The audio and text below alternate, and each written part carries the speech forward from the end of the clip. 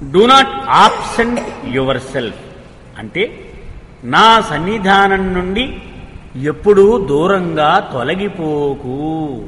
నిన్ను నీవు నా నుంచి దూరంగా తొలగిపోకు అనేటువంటిది ఈ chapter heading he who has eyes but does not see he who has ears but does not hear he who has a tongue but does not speak who he can see me as I should be seen and can know me as I should be known Baba. ఎవడైతే కళ్ళు ఉండి కూడా చూడడో ఎవడైతే చెవులు ఉండి కూడా ఏది వినడో ఎవడైతే నాలిక కలిగి ఉండా ఏమీ మాట్లాడడో వాడు ఏ విధంగా నన్ను చూడాలో ఆ విధంగా చూడగలడు.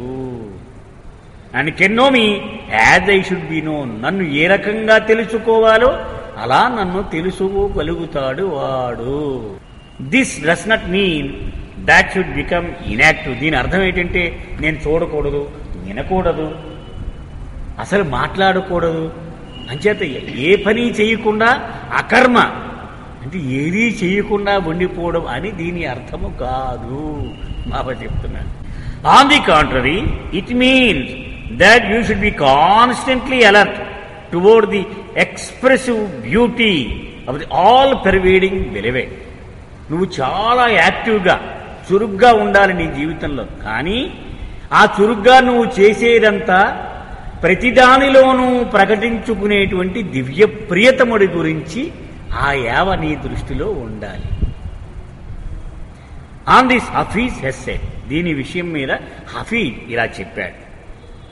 If you want your beloved to be present do not absent yourself for one moment from his presence నీ దివ్య ప్రియతముడి యొక్క హాజరు ప్రతి క్షణము ఉండాలి అని నీవు ఆశించినట్లయితే ఆయన సన్నిధానం నుండి ఏ క్షణము కూడా తొలగిపోకు అంటే మనము తప్పుకోకూడదు. అప్పుడు ఆయన సదా ఉంటాడు మనతో పాటుగా.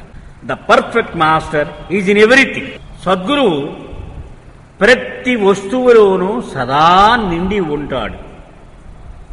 And he is the centre of everything నిజానికి. ప్రతి వస్తువుకు కేంద్రము ఆయనే. ఆ న్యూక్లియస్ ఆయనే. Everyone and everything is therefore equidistant from him. మనం మొట్టమొదటి అనుకున్నాం కుతబ్. సద్గురువును కుతబ్ అంటే ఒక చక్రానికి ఇరుసు ఎలాంటిదో అలాంటి వాడు. ప్రతి ప్రాణి కూడా ఆ చక్రం మీద ఉంటాయి.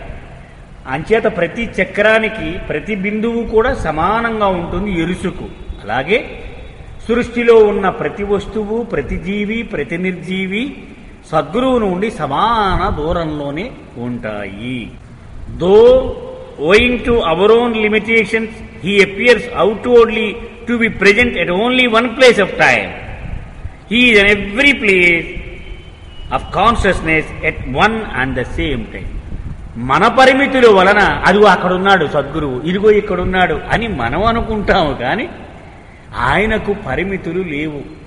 ప్రతి క్షణము ప్రతివాడికి ప్రతిదానికి సమాన దూరంలో ఉండగలడు. బాబా మెహరాబాదులో ఉండేటువంటి తొలి రోజులలో మెహరాబాదును విడిచిపెట్టకుండా అనేక నెలలు ఉన్నప్పటికీ కొంతమంది మండలి వాళ్ళు పూనా పని మీద వెళ్ళినప్పుడు పూనాలో కనిపించాడు బాబా వాళ్ళకు. లార్డ్ మెహర్ మనం చదివితే తెలుస్తుంది వాళ్ళు ఆశ్చర్యపోయారు. బాబా నిన్న అక్కడికి వచ్చాడు కదా అని చెప్తే నిన్న అక్కడే రావడం ఇక్కడే ఉన్నాడు బాబా అని చెప్పేవారు బాబా అని అడిగారు బాబా నిన్న అక్కడ ఉన్నావంట కదా అంటే నవ్వేసి నెక్స్ట్ అది వదిలేండి మిగిలిన విషయాలు మాట్లాడండి అనేవారు.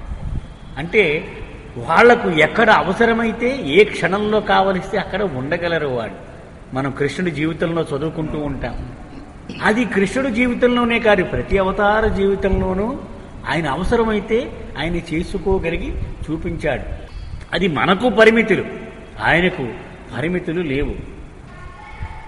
To see him as he is is to see God. యథార్థంగా మనం గనక అవతారుణ్ణి ఎలా చూడగలగా ఎలా చూడాలో అలా చూడగలిగితే భగవంతుణ్ణి దర్శించుకున్నట్లే. So beware lest when the divine beloved knocks at the door of your heart he finds you absent. అందుచేత ఎప్పుడు కూడా గుర్తుపెట్టుకో. ఎప్పుడో ఒకప్పుడు నీ అదృష్టం వచ్చి ఆయన వచ్చి నీ హృదయంలో ఆ ద్వారాన్ని కొడతాడు నేను వచ్చానురా అని. అప్పుడు నువ్వు లేవనుకో పోయినట్టే నువ్వు సర్వము కోల్పోయినట్లే. అందుచేత సదా ఆయన ఎప్పుడైనా రావచ్చు అని ఆ ఎరుకతో నీవు ఎప్పుడు జాగ్రత్తగా కాపలా కాస్తూ ఉండాలి. ఆ ఇండస్ట్రైసింగ్ ఆ పుస్తకం అంతా ఇది. ఆ ప్రేమ వీధిలో గుడిసెలు వేసుకొని ప్రేమికులు మకా ఉంటూ ఉంటారు. ఎందుకని? ఎప్పుడైనా ప్రభువుకి అనుగ్రహం కలిగి నా తలుపు కొట్టవచ్చు. అందుచేత ప్రతిరోజు అలికి ముగ్గులు పెట్టి ప్రతిరోజు వేచి ఉండాల్సిందే నేను. ఎప్పుడొస్తాడో ప్రభు ఆయనకి ఎప్పుడు అనుగ్రహం కలుగుతుందో అని. అది ప్రేమికుడి యొక్క విధి.